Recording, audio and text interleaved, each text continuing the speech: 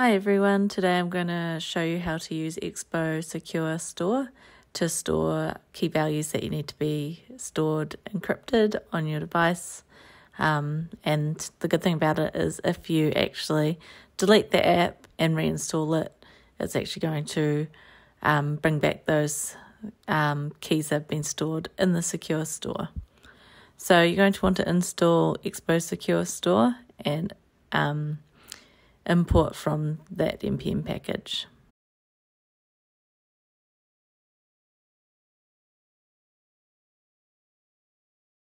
First off, I'm just going to create a function for just saving a secure um, value.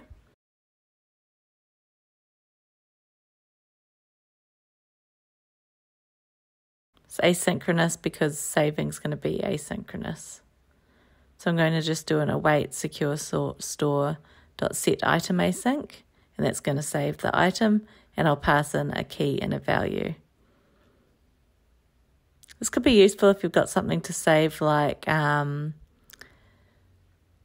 the JWT token that's returned from authentication.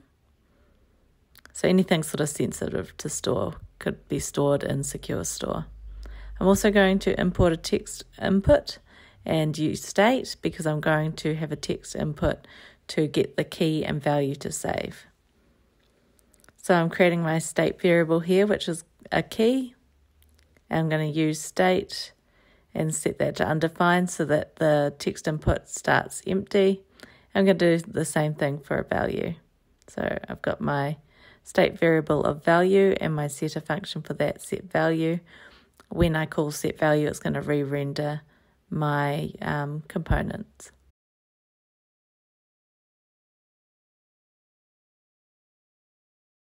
You can see that I took out the parameters of that save secure value function because it's actually going to come from the state variables instead. So text input's going to have a value that's going to be the key. And when the text changes, I'm going to call set key. So I'll pass that as that function to the text input.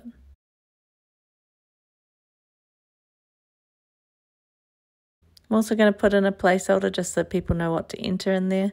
I'm just going to specify that it's the key. And then I'm going to do the same thing for the value.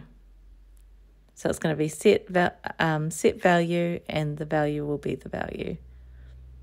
I'll also want to update that placeholder to be value so that the user knows what to enter in there.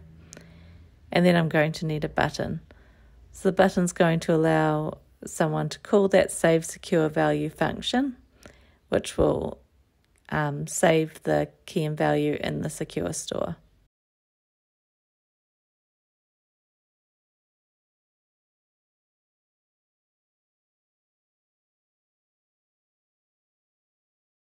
So on press, I'm going to call save secure value. You can see I've got a key and value text input and a save key and value button now. So let's enter a key and a value. Just going to call it my key.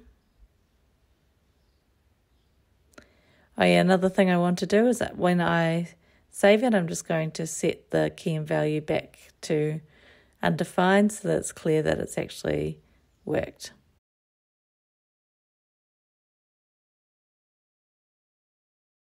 And I'm going to set that value to, and I'll click on Save Key and Value.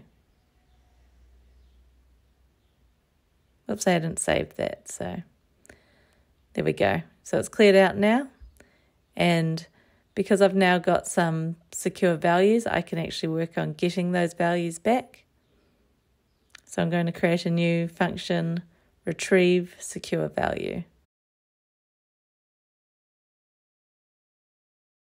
It's going to work much like the um, save secure value, but instead of saving, it's going to retrieve a value from the secure store using a key. So I'm going to go secure store dot get item async and I'll pass in that key value and then that will get the value back. I'm then going to go ahead and update the value text input so that we can sort of see what the result would be. This isn't really how you'd use it in an actual application. Um, you wouldn't be just setting values in a text input, but it's a good way of showing you how to write the code for saving and retrieving a key and value with minimal UI effort. So this one's going to have a button for and a on press it's going to call retrieve secure value.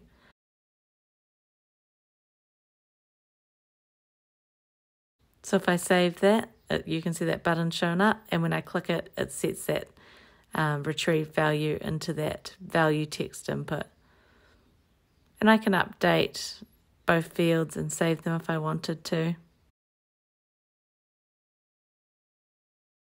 Another thing you can do is you can actually specify that you want the user authenticated to make changes. So you can specify that you want um, authentication. And you can also specify an authentication prompt.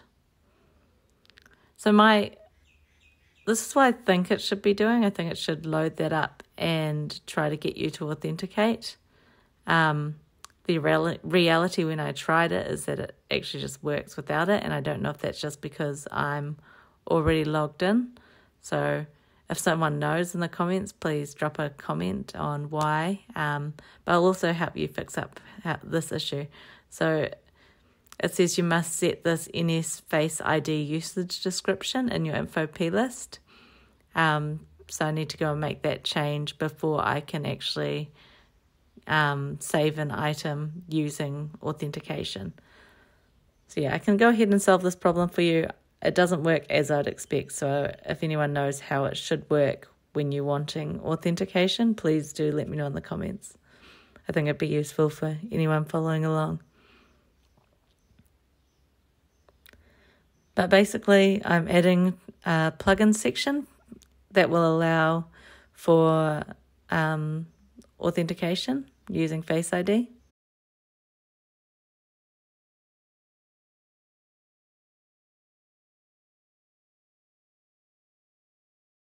I'm then going ahead and doing my build configuration, but because I was missing some dependencies, it prompted me to install those, so I installed those.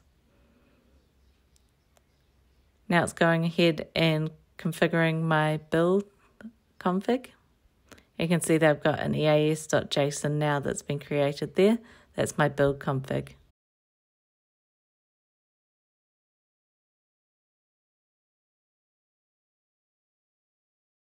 for iOS, I'm just going to set simulator tr- to true so that when I um, do my development build, I can open on the simulator.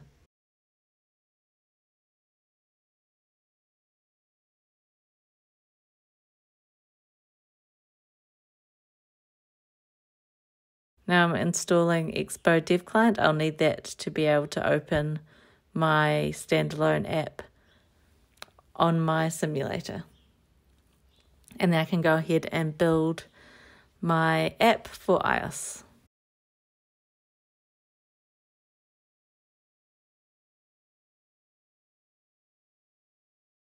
I'm also going to add a delete key option, and that's because um, I want to be able to show you that you can um, delete keys and also um, when you uninstall the app, if you haven't deleted a key, it will still exist.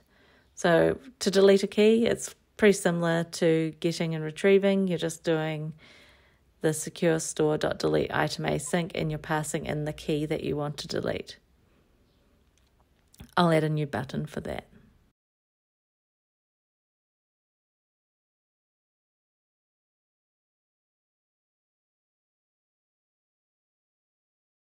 And I'll set that on press function to be that delete key function.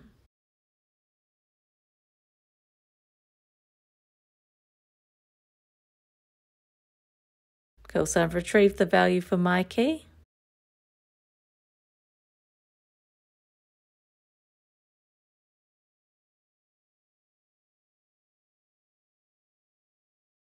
And I'm just going to start up this app again once again just to show you.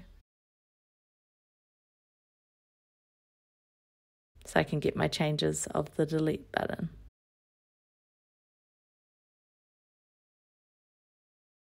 So I'm going to retrieve my key and then I'm going to choose to delete that key. I didn't choose the set to set the key and value to undefined using that um, state, state setter function. So I'm just going to add those in. That will make it um, appear to the user if it's as if it's been deleted. So it will give better user feedback. But if I go ahead and try and retrieve the value, you could see that nothing came back. Now I'm downloading that um, build that will allow me to save using authentication with the authentication options. But like I said, it doesn't do what I expect. It doesn't really prompt me for authentication. I don't know if that's already because I'm logged in or if it's just because I'm on a simulator. So if anyone knows in the comments, please let us know.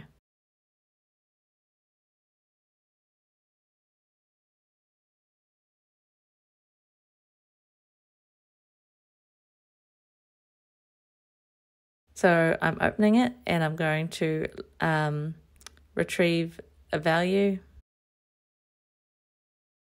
There wasn't actually anything there for my key, so I set one instead. Now I'm going to retrieve that value. You can see that I could save the key now because I had added that um, config plugin and the um, info plist face ID description I'm going to remove that now that we've sort of solved that problem. It's not really adding much benefit here because, like I said, it's not prompting me to authenticate. I'm not sure why. And I'm just adding a few more keys in here. So I've got a my key with my value. I'm going to delete that key. So you can see there's nothing there for that. But if I look at my key one, I do have a value there for it. I'm going to go ahead and delete this app, remembering that we've got a value against my key one, but not my key.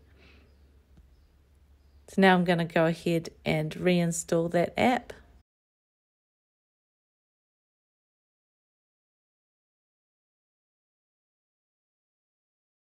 And I'm also going to run it again.